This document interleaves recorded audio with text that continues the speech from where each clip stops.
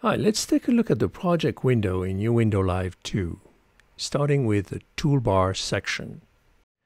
We have the setting icon, which open the setting window, which we looked at in the previous video.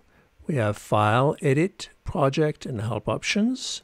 We have a Record button, which open a floating record panel with metadata informations, production artist, engineer, director, a recording folder locations, different way to start the recording, arm all tracks, record, easy record, locate and, information about the recording times, and a section for markers. You can add markers before, during, and after the recording.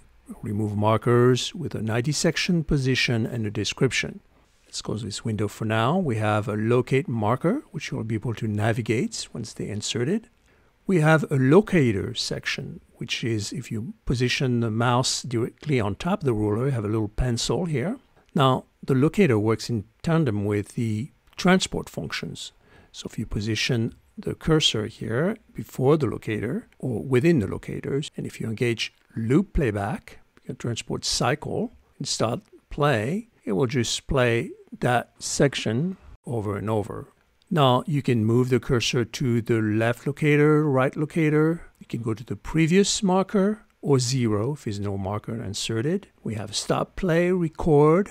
Next, we have the ruler, which can be set to seconds, time code, or sample. We set to time code right now. We have a MIDI time code section, and you can, of course, set the input MIDI device directly from here. Finally, we have VST performance meter, which if you click on it, you have this little floating window, which can position anywhere within the screen here. Now, if we review what we just looked at on the toolbar sections, we looked at the record panel, which can be open and closed by Command plus R or Control plus R on Windows. We looked at the marker sections, which you can navigate uh, by pressing Shift plus N.